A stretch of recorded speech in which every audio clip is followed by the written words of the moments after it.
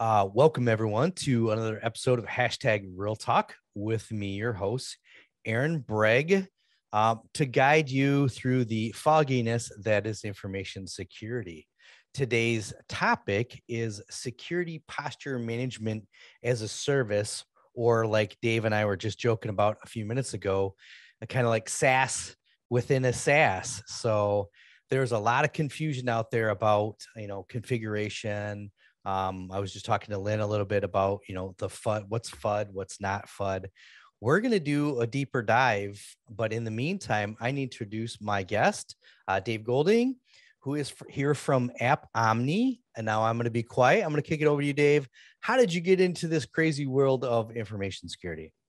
Uh, yeah, thanks, Aaron. Really appreciate you having me here today. And and uh, highlighting this topic, which since April when I joined AppOmni has become even more uh, close to my heart. But uh, started uh, in IT in 1997 during the the internet boom. Um, and uh, have continued on. In about 2008 is when I got into information security. Uh, joined a company called Solutionary, which was uh, an MSSP um, that was acquired by NTT. So I spent it's about a seven year ride um, before we got acquired and then post acquisition you know ended up being there until just last year. So uh, i've seen a lot i've worked with a lot of different clients uh, whether it be um, you know in the that mssp kind of soc monitoring space but also the consult- MS, msp i did uh lynn i do gotta there is one only one rule with hashtag real talk. If you do an acronym you have to say what an acronym is and then after that you can use it. So uh, for the listeners, what is the MSSP? Yeah, good. I'm glad you called me on that because it's one of my pet peeves is when, when people use acronyms without explaining them. So managed security services provider. So, um, you know, think of back in, you know, uh, SecureWorks is probably the biggest household name uh, you know that continues to uh, thrive within that industry. But there's a lot of uh, MSSPs out there doing great work, helping organizations to monitor uh, their environment. You know, essentially providing that SOC as a service capability. Excellent. So you were with with a sim with doing that, and then how did you get over to where you're at right now?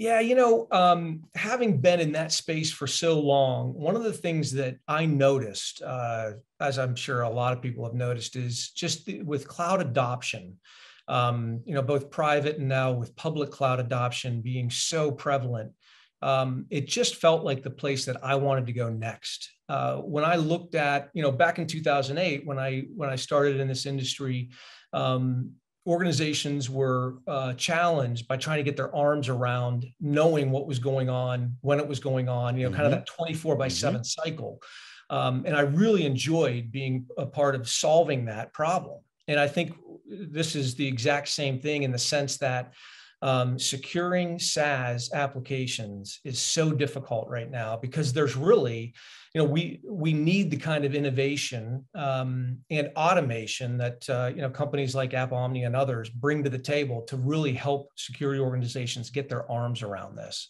So, um, and it just worked out. You know, in my life, uh, I've been really fortunate. Uh, a friend of mine worked here. Uh, I talked to him about you know wanting to make a move, more so just because he knows so many people uh, I wasn't really even necessarily thinking about AppOmni. I didn't know a whole lot about them, to be honest. And um, that led to a conversation about what we were doing here. And um, I came on board and I've been just loving it. Excellent. All right. We have a lot to cover. So I'm going to jump in with the first area that we're going to talk about.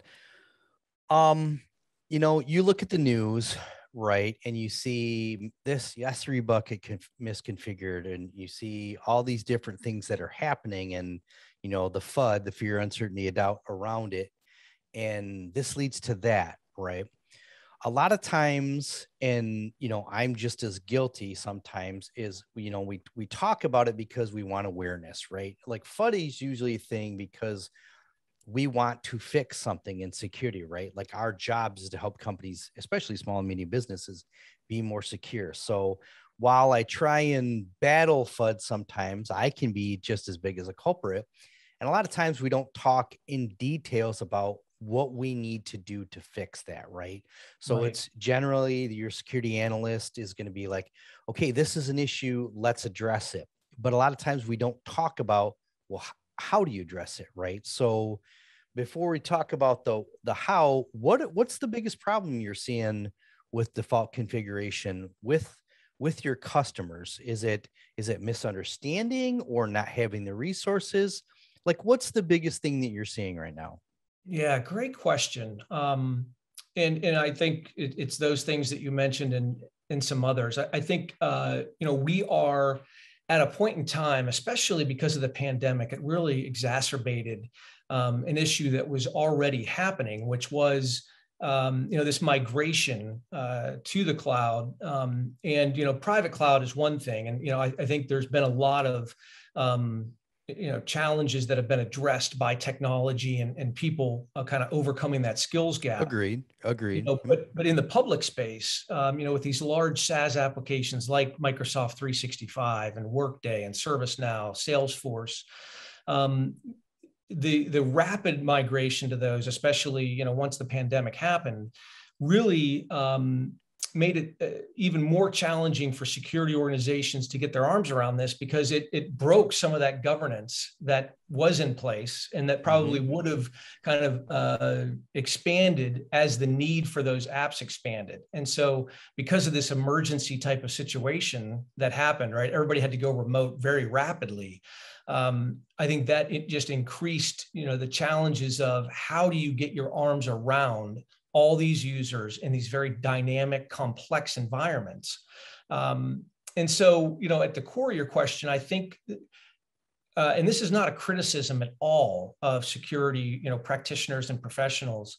It just is a reality that there is a skills gap in, in, a, in a lack of understanding um, of these environments and exactly how to secure them. Because you secure a you know a SaaS environment is a very different flavor than a traditional perimeter based environment. Mm-hmm. Um, so really understanding APIs, how they work, um, understanding OAuth tokens, um, you know session IDs, all these different elements.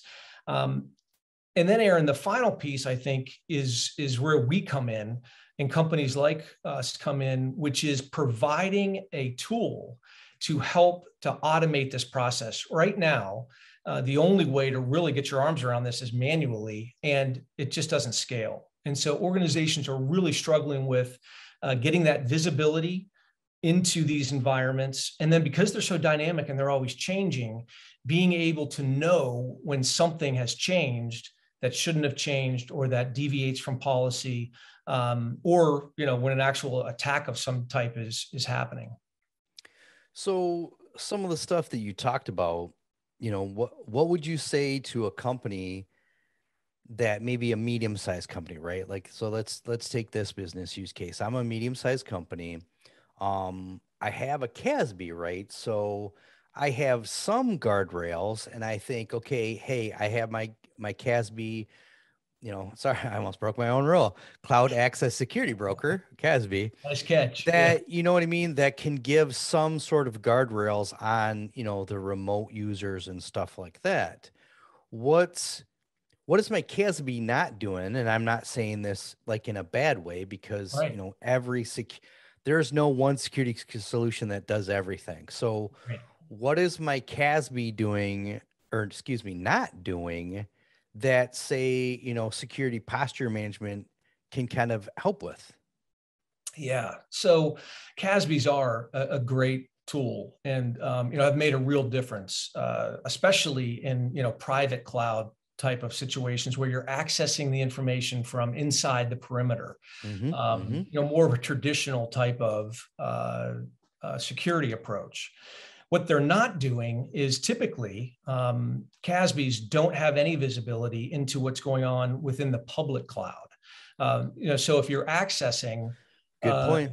Yeah, I mean, if you're accessing something like Salesforce, for example, which is uh, you know something that we deal with uh, very frequently, um, your CASB is not going to see that traffic. Um, and what we find uh, over and over again, actually, in, in over 50%, we've done well over 100 different risk assessments for uh, clients. And uh, what we've seen is that in over 50% of those assessments, um, uh, sensitive data has been publicly exposed, right? So essentially, unauthenticated access uh, just through public regular internet connections there's you know 50% of those companies have data exposed uh, to the public internet so that's a, a, you know a great example and a great use case for what we do um, so at the end of the day sorry I oh, yeah. didn't mean you're up, but I, I want to I want to I want to dive into that a little bit, yep. especially for the listeners to understand.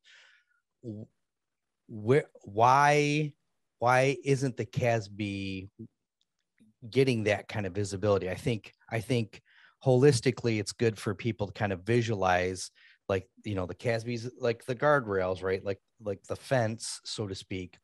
Yep. Where does the CASB lose visibility that's causing some of these issues?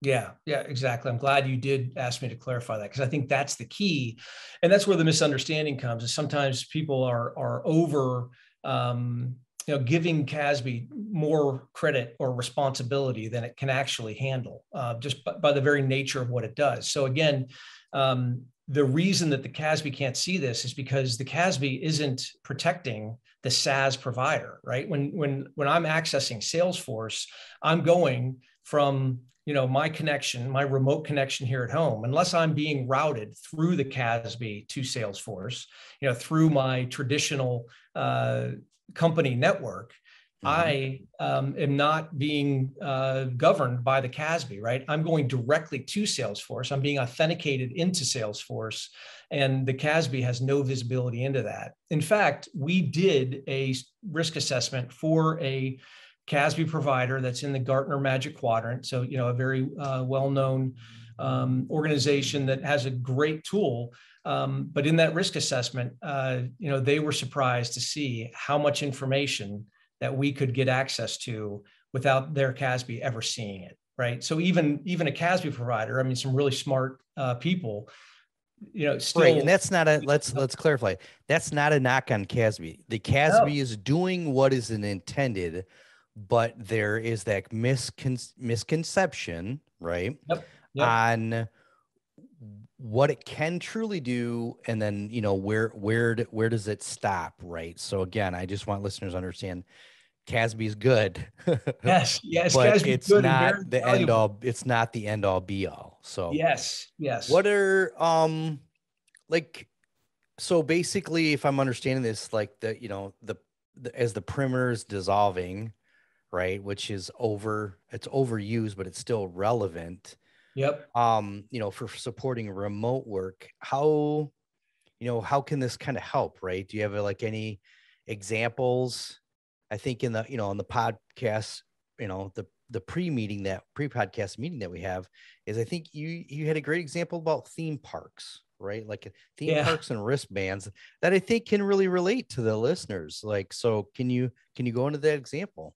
Yeah, that's actually a, a great analogy that uh, one of our founders, uh, Brendan O'Connor, our CEO, um, uses that really helped me kind of grasp this concept early on, which is, um, you know, if I am accessing uh, a SaaS application, um, and if I'm going through a CASB, what the CASB does is essentially grants me a wristband, right? Or even if I'm going through a, you know, something like Okta or Ping Identity, I'm getting a session ID, right, which mm-hmm. grants me, mm-hmm. um, you know, access into that environment. Um, and uh, another thing that happens within SaaS is I am granted an OAuth token, and those OAuth tokens are not revocable, right? So once I get access, once I get that wristband, I can access any of the rides within that SaaS environment, and also within all the other integrations that happen within SaaS, right? So we're all familiar with how easy it is to uh, you know, create connections between these different SaaS apps. Yep. Do you um, want to log? Everybody gets the prompt, right? Do you want to log in with your Gmail? Do you want to log in with Facebook? Do you want to log in with, you know, exactly. Lynn's, Lynn's backwater home network? right, and that's OAuth, right? So once I once I you know, once I am granted that that token, I now have access to the theme park. Um, the reality is, as security professionals, what we want to do is limit who has access to what ride. Um, and that's really what solutions like ours does, or a solution like ours does, is it helps you to, to understand and get visibility into the who, the what, and the why within a SaaS environment, right? Because there's multiple personas. Each of those personas has, you know, different data access rules, mm-hmm. different configuration rules. Um, and so that's really what we do is we break it down to a very granular level that gets beyond just the assignment of that wristband. We then, you know, create wristbands within the wristband, so to speak. So it's almost like I'm sticking with the theme park personality, and especially my youngest.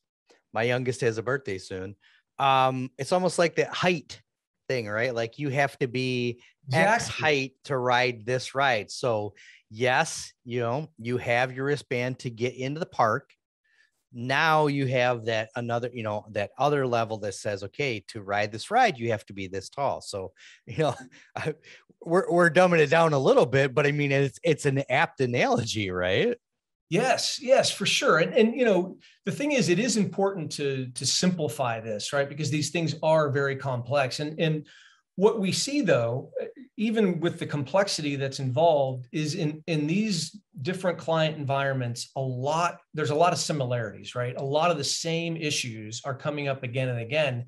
And that's not because uh, security practitioners you know um, aren't smart very well uh, you know uh, credentialed experienced people. The reality is is that there's just no way to do this manually. It, they're too complex they're too big they're too robust and they change way too often.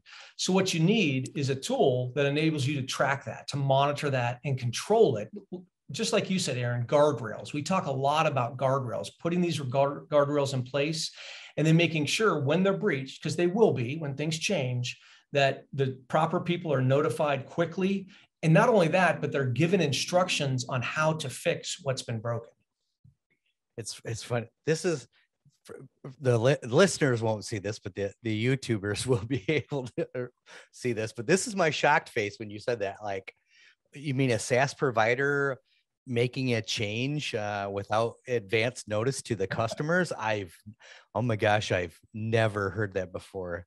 I know right. it's one of the things that uh, dri- drives um, my board member lloyd and good friend up the wall is when he gets you know microsoft office 365 alerts. So both you know work related and not work related he's like wait a minute they just did this and it's going to be it's already turned on by default so you know, yes. we we joke about that, but but that it, that is a real thing, right? And you know, you and I are not big enough, or our company's not big enough to be able to like arm wrestle, you know, a Microsoft or a Workday, or well, maybe Workday, but not definitely not a Salesforce. Be like, hey, you know, we, you need to give us a heads up on this config, you know, this new configuration change you're doing, or at least have it off by default and let and let us turn it on. So yep, you're not that's not a cheesy sales tactic that you're using. That's that's that happens in the real world. Yeah, it's just reality. I mean, the thing that I mean, SaaS, if you think about it has absolutely changed the way that we do business. And it's so powerful. I mean, you think about Microsoft 365. I mean, where we are today um, and, and what Microsoft has done to make um, you know email and all these other collaboration apps so much more accessible. Um, it, it, you know, and and the the amount of security that comes built in with what they're doing is very powerful, right? Um, all the things that you know organizations used to have to take on themselves from an infrastructure perspective, from a vulnerability perspective, you know, these updates those things have really helped to lighten the load of a lot of IT teams and security teams. But it also has taken a lot of control out of their hands. Right. Um, and then, right. like you're saying, like what Lloyd, his frustration is very real, and we all, um, you know, just have to live with that. That that comes with the power of SaaS comes with that trade-off of now we're beholden to these organizations mm-hmm. and we've got to find a way to work within the parameters that they are giving us. And again, that's where I think innovation, automation, and intelligence come in, um, you know, to, to overcome that gap. We'll talk to the intelligence part of that in a little bit.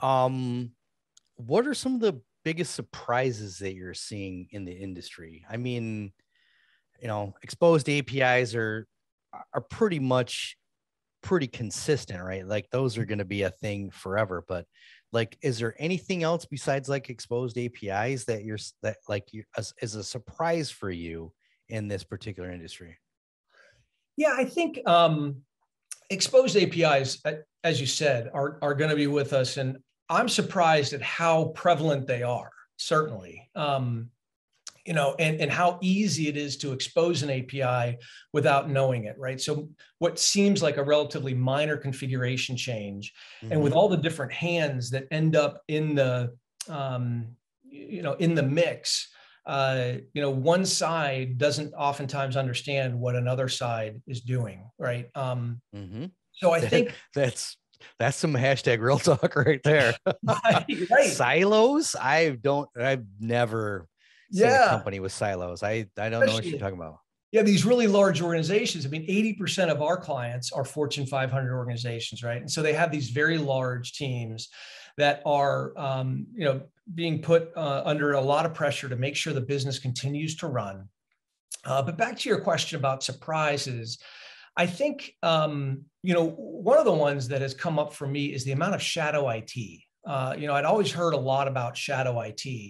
Um, but I think my definition of shadow IT was a little bit different than what I've seen since I, I oh, have come. This here. is a good one. I want to hear what is your yeah. definition, well, and I'll compare it to mine of, and the listeners. Yeah, you know, it, it was always more of like, you know, just kind of this rogue employee with a, you know, a server under his desk, right? Who, who knew what he was doing and, um, you know, was just choosing to, to make life easier for himself or for his team by, you know, uh, kind of going around, uh, you know, circumventing the rules. Mm-hmm. But within SaaS, so much of um, provisioning of these apps happens outside the purview of um, security. Even IT in general. Even IT in general, right? And so yep. um, the amount of, you know, the, the horse leaves the barn and it, it can be a long time before anybody is even aware of what's going on mm-hmm. and how much data is exposed or the type of data that's in that app. So really the governance around this stuff, um, you know, obviously being in this industry for, for a long time, I know how important governance is, but with the shadow IT component, I've been really surprised. Um, and I, I, don't know about surprised as much as just, uh, uh you know, my heart goes out to IT teams and security teams because they're oftentimes being asked to do something and go in after the fact. Whereas mm-hmm. if they mm-hmm. go in early on and just be part of the conversation, um, you know, a lot of time is wasted that way. And not only that, but then when you think about the potential outcome of a leak uh, or a breach that could have been avoided had you know both sides kind of been talking and and uh, you know the people that made this decision and again didn't make it not like the guy putting something under his desk. They're just trying to accomplish right. a business need. They're doing what they believe is right and they're just not aware of the fact that there's all these unintended consequences. I think you know we we conveniently blame COVID for a lot for a lot of things going on right now. But that part is true. What you're saying is true. And what I mean by that is one of the biggest things I've seen, even at the healthcare and insurance company that I work for, is necessity. You know, they're being put in situations where they have to move faster. And, you know, not only, you know, security has looked as a blocker, but I, I really think that that this a, a, bigger stigma we have to work on is is IT as a blocker in general, right? So now you have the situation to where you need on the insurance side. We'll just we'll we'll talk health insurance for a minute. You know, it's ultra competitive market. You need to be um you want to be a you know you want to have something that makes you different, right? A differentiator.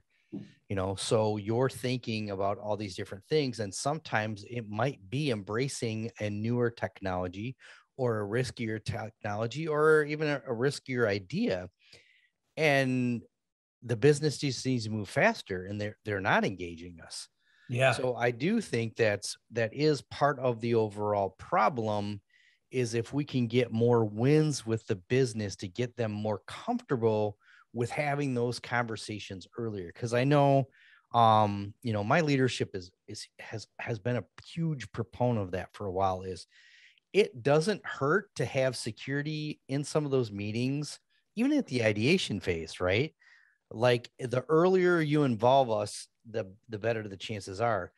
especially with something something new in a SaaS world. Like, um, you know, you guys you guys have a pretty good um, connections to like you know GitHub, and GitLab, and you know and Bitbucket and stuff.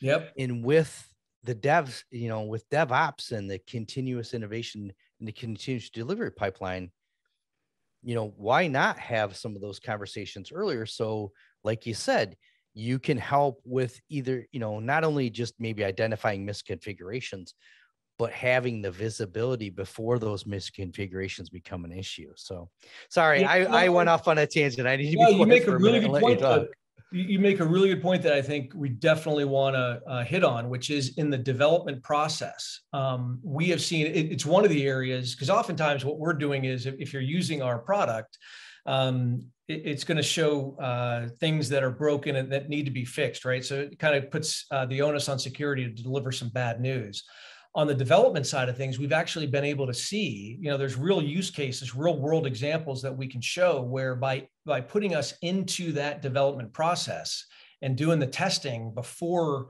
um, you're going live with a new version of the app, uh, we can really shorten that cycle, right? And and make sure that uh, you know the, the code and the new uh, components that are being put into production are in line with policy. So we're actually, you know, it enables security to bring something to the table where they're actually helping dev to go faster and, you know, enabling, uh, you know, uh, more efficiency and effectiveness rather than kind of, you know, being the guy that's saying, hold on, um, we've got to fix some things before, uh, you know, so would you and this is where I mean I've I've done some homework on your company, but I have obviously have still have a day job, so I wasn't able to dig in too far.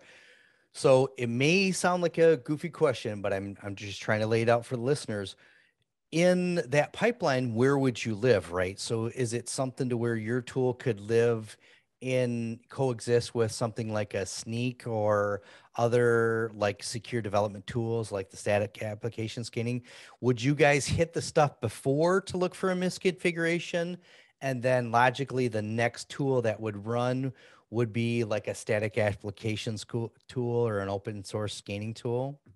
Yeah where, where we would so we're not going to uh, scan code right? Where we right. come in is okay. really more at the policy level right? So okay what we're going to do is we're going to look at the changes in that new um, app, uh, you know, the new version of the app, and, and mm-hmm. compare it to policies, right? So configuration policies, data access policies, making sure that nothing, uh, or I shouldn't say, I mean, obviously things are going to change, but so that it's it's uh, it conforms to those guardrails that are going to be in place in production, right? So it is another layer uh, around secure code, um, kind of beyond that or on top of that, is we have these policies in place as an organization, and we want to make sure that what you're developing adheres to those policies before it okay. goes into production. Because oftentimes, when we do see this, we got some really good data on updates as well, and how often updates will break things and you know, or at least change configurations that then um, violate you know, a policy. Violate okay. policy exactly. Okay.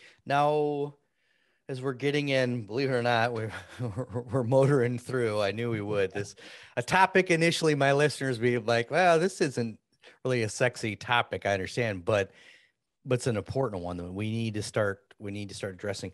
So as we get to kind of like the middle of the podcast, middle towards the end, what are what are some best practices, right? Like, what are your do you have baseline stuff that you work from, or do you have like a set list of base policies that you could help a company hit hit the ground running. So what are you what are your thoughts on that?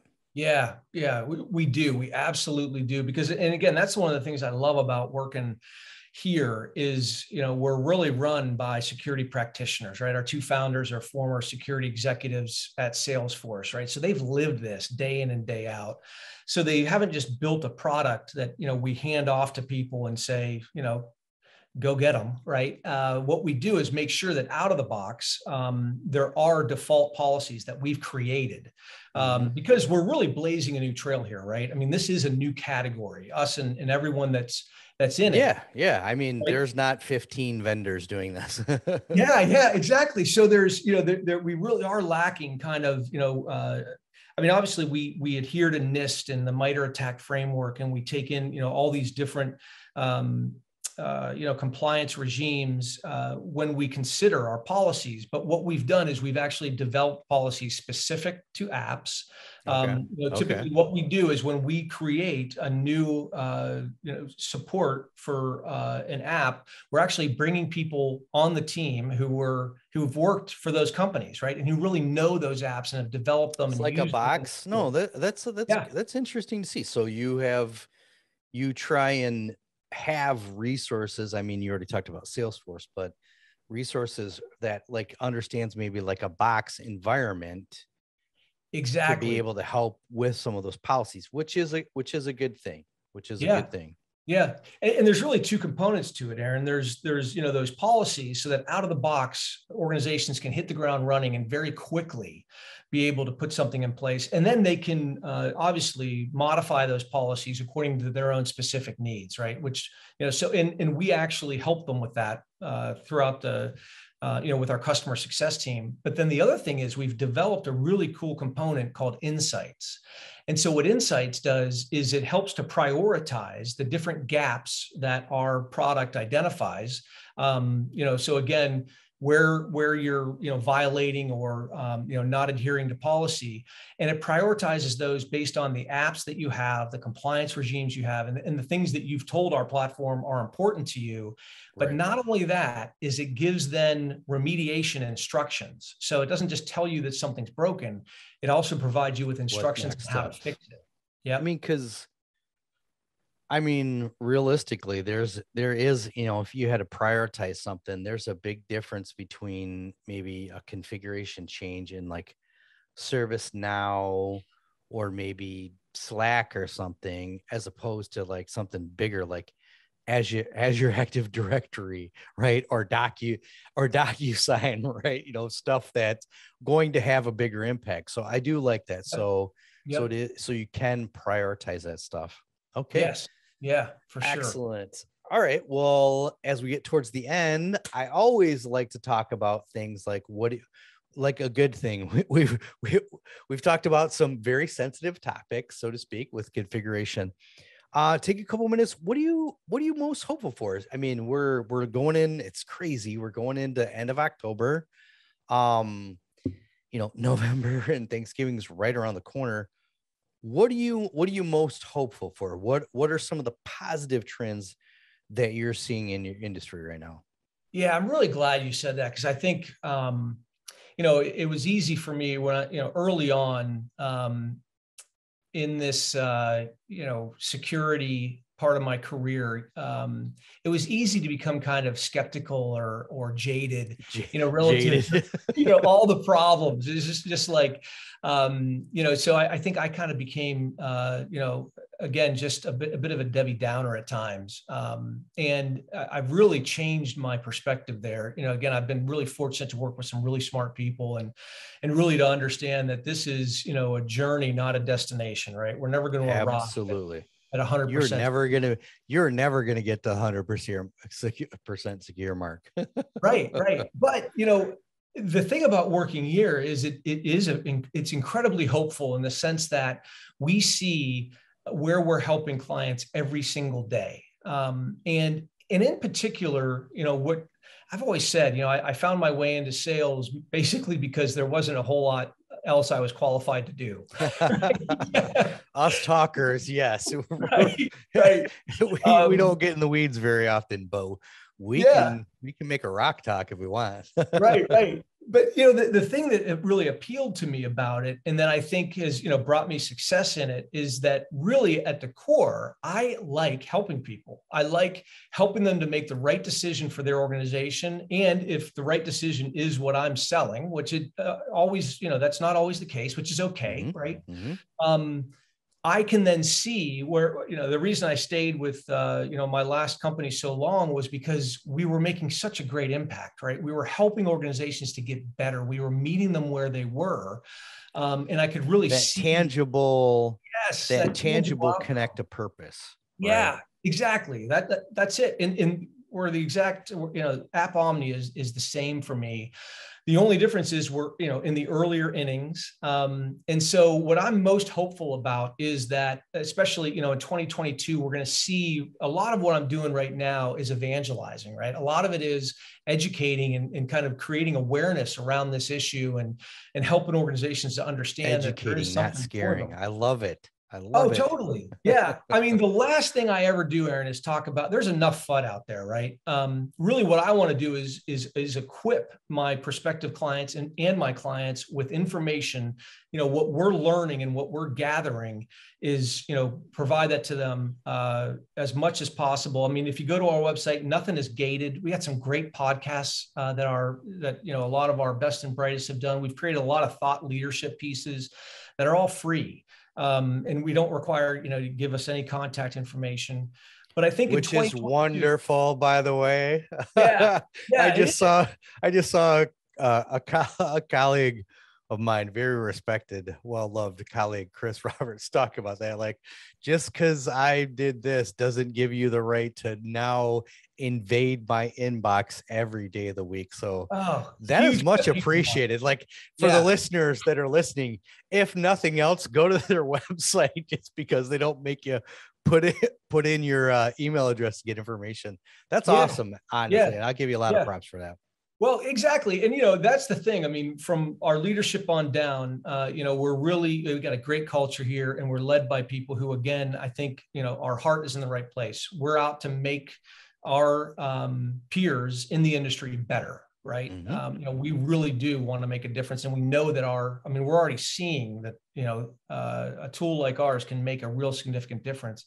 But I think the you know the one thing I want to highlight too is um, you know Gartner has gotten on board, and you know Gartner, uh, you know, wow. See, we'll but do I some love, real talk there. Just because yeah. somebody's in a Gar- Magic Gartner or Gartner Magic Quadrant yeah doesn't does it i don't really care no i know offense. and this isn't the magic quadrant right because you know as you and i both know and a lot of people know the magic quadrant you know pay to play uh, yeah it's a bit of that right but the hype cycles, I actually think what Gartner does with the hype cycle really um, can be helpful. And in their in their latest, I, you know, I, can give you that. I'll give you that one. Okay. You know, because yes. if you really think about you know how that process works, you know how technology gets adopted. Um, and you know what its life cycle or hype cycle is right because there is oftentimes a lot of hype around technologies and you know just like you've been asking me like what is what's the real world what's the real talk elements mm-hmm. here of mm-hmm. you know SaaS security.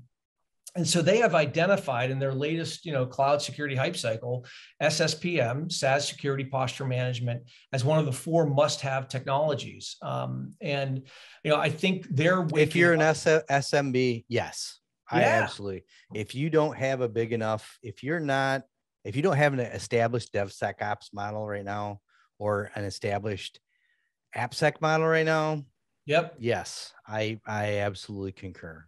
Yeah, exactly. You know, organizations need help getting their arms around this, um, and, and, even large ones too, Aaron. I mean, again, um, you know, some of our clients, you know, largest car manuf- or one of the largest car manufacturers in the world, one of the largest retailers in the world. You know, so large organizations too, even with really uh, large, robust uh, information security teams, recognize that uh, you know having the right tool at their disposal to help manage this. True really visibility. You can never have, I don't care what anybody says, you can never exactly. have too much visibility. yeah, that's you know, there's really three components to this, right? It, it's visibility, and then it's protection or policies, right?